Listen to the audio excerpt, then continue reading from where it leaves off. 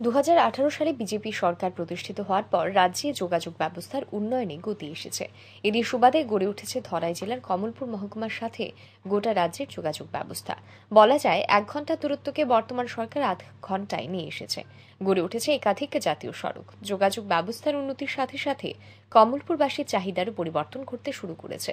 আর কমলপুরবাসীর এই চাহিদার কথা মাথায় রেখে সোমবার কমলপুর থেকে উদয়পুর ভায়া আগরতলা পর্যন্ত শুরু হয়েছে শীততাপ নিয়ন্ত্রিত বিলাসবহুল আয়ুষ্মান ট্রাভেলসের যাত্রী বাস পরিষেবা।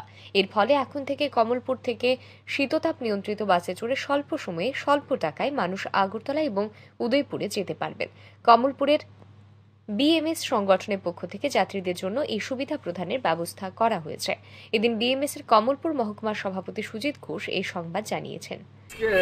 আমাদের ত্রিপুরা সরকার রাস্তার উন্নয়ন বা বিভিন্ন উন্নয়নমূলক কাজের পরিপ্রেক্ষিতে আজকে রাস্তার উন্নয়নের জন্য যে সুবরঞ্জন দেব যে এসি গাড়ি নামিয়েছে, এটার জন্য প্রতিদিন সকাল যেমন মাতাবাড়ি গাড়িটি সকাল ছয়টা রওনা দেবে এবং বিকাল বেলা কমলপুরের দিকে, মাতাবাড়ির থেকে দুইটা বা আড়াইটার দিকে একবার ব্যাক করবে এবং আমাদের প্রতিদিন আমাদের মাতাবাড়িতে যে কোনো লোক যে কোনো ধরনের লোক মাতাবাড়িতে পূজা দেওয়ার জন্য দেখতে পারবে এবং আসারও সুব্যবস্থা আছে। কমলপুর থেকে শীততাপ নিয়ন্ত্রিত যাত্রী বাস পরিষেবা চালু হওয়ায় খুশি নিত্যযাত্রীরা। এদিন এক যাত্রী জানান এসি বাস পরিষেবা চালু হওয়ায় কমলপুরবাসীর খুব সুবিধা হবে। শীততাপ নিয়ন্ত্রিত বাসে আগরতলা পর্যন্ত ভাড়া জনপ্রতি একশো কোটি টাকা বলে জানান এই বাস যাত্রী। কমলপুরে প্রথম এসি গাড়ি চালু হয়েছে আজকে থেকে যেটা এখান থেকে আগরতলা অব্দি একশো কোটি টাকা ভাড়া।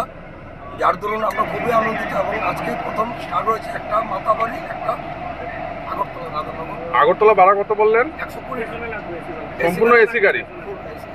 এই প্রথম? এই প্রথম চালু হয়েছে যেটা খুবই ভালো লাগল এবং যোগাযোগ ব্যবস্থা আরও ভালো।